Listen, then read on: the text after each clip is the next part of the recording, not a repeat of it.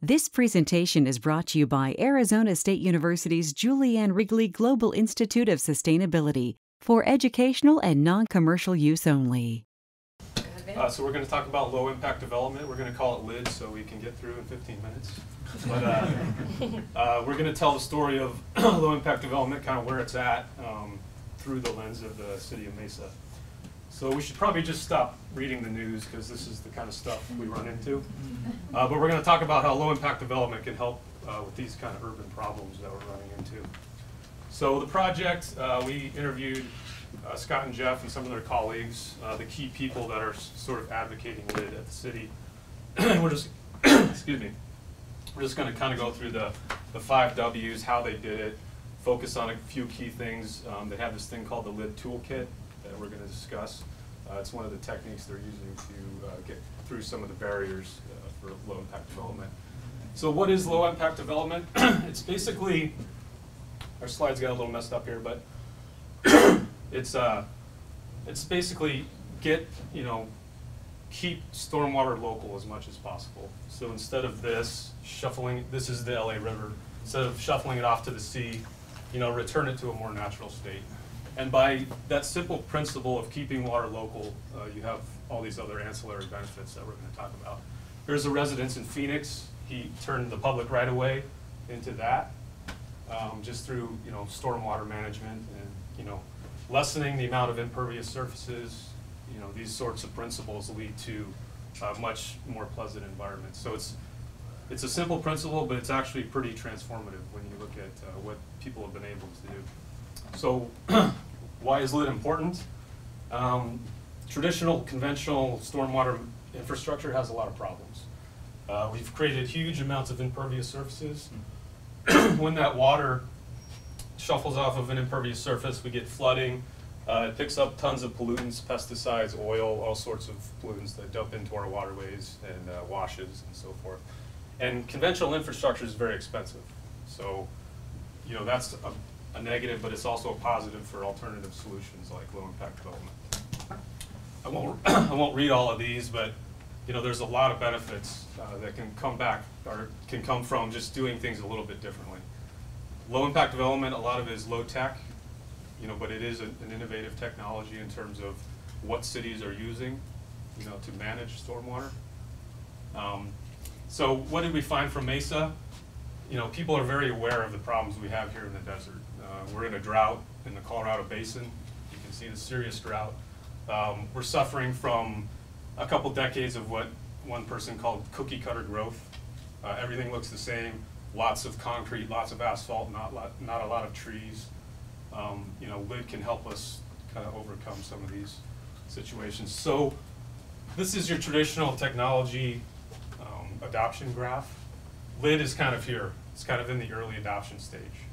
You know, uh, Jeff and, and Scott and company are trying to leap what they call the chasm, which is how do you get it out of this early adoption stage, get it to some sort of standardized, you know, everyone's using it, it's popular, everyone's aware of it. Um, you know, they are a progressive group, as, as one person said, they want to be ahead of the curve, which they are, but they got to leap this chasm. So we're going to discuss you know, how, how did they, how are they going to do that? How can they do that?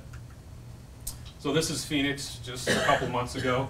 Uh, we've got climate change effects going on, more variable climate events. Um, so it's good timing uh, for something like low impact development to come along to, help with these sorts of things. Here's a Mesa neighborhood.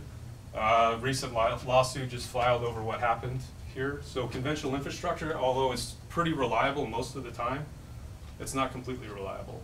So low impact development can help mitigate, uh, you know, the stress on uh, conventional infrastructure because along with these events, if we have to expand the, the, infrastructure that's already there, that can be very expensive. So if we can lessen the burden on what's there, uh, low impact development will have a big uh, impact. So some of you have probably heard of a book called Bird on Fire, which called the Phoenix region one of the most unsustainable places in the, in, on the planet. Whether you agree or disagree with that, you know, we sort of have this constellation of problems that we have to deal with. So um, you know, one of those is the urban heat island effect, which a couple people already mentioned in their projects. The temperature, the night, nighttime temperatures in Phoenix have gone up 11 degrees in 50 years. Extremely dramatic. So that's probably one of, he doesn't look too happy, maybe this is one of the reasons. Um, So I'm going to talk about where. Um, LID started in the Northeast. Obviously, there's a lot of rain, a lot of grass, a lot of turf. Um, this is Seattle over on the side there. That's an example of low impact development. Um, but in contrast, uh, LID can be implemented anywhere. Um, like Van said, we have major flooding, and actually just yesterday, this worked really well. This was a, um, a project right in front of the Mesa Urban Garden that um, a bunch of us actually worked on, and you can see a curb cut right um, from the street that goes in, and then um, it's a little um, bioswale. So this has been shown to work you know, immediately and um, has these, these lasting benefits. So an example that, um, a good example of a local lid project, this is what um, Mesa is doing in the Fiesta District. So this is Southern Avenue, this is the before picture. You know, it kind of looks sketchy, you don't really want to be here. And then uh, after, uh, it's welcoming, you know, it's beautiful, and it also helps um, reduce, storm, reduce flooding and um, stormwater management. So the who, this is kind of a, a crazy slide for a reason. Basically, who are the players in this? Who, who should care about LID? And everyone. So basically, anyone who drinks water or, you know, gets rained on. So you don't want to you don't want to um, have dirty stormwater and then you don't want flooding. So basically, the players are the public um, who want clean water, public departments, the engineering departments who are uh, making these plans, the transportation department who are um, who are maintaining the um, the right of ways and and these projects. Um, in addition, the private developers. It's not even it's not only just for Mesa or um, Tempe, but it's people who are you know building these complexes and really just want to meet minimum code. And you know that's great and all, but we want to really go a bit above and beyond, and that's what Mesa's trying to do. Um, and so. It, this is, sounds great. Sounds like we can, you know, go ahead and go for it, but there are major barriers. And um, we found, we a lot of research um, kind of mirrored the barriers that we heard from the, our interviews.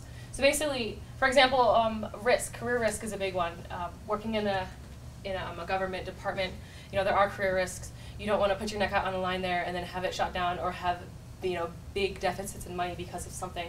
So spreading the risk is something that um, a solution that can be helpful. And then in addition, um, a technical issue, so permeable pavement. That's a really exciting technology that is not getting implemented because it has, you know, these, um, these misguided views on maintenance. There have been studies that show how effective it is, but here in the desert, you know, you think, oh, she's gonna get clogged, she's gonna get clogged.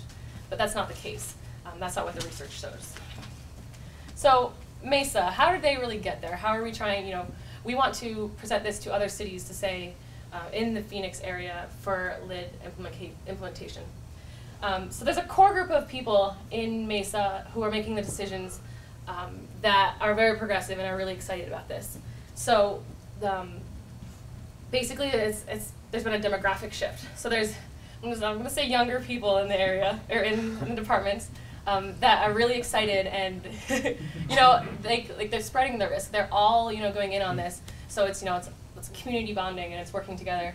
The communication is very impressive. You know, all the departments kind of had the same same views um, and the same issues, and we're working together.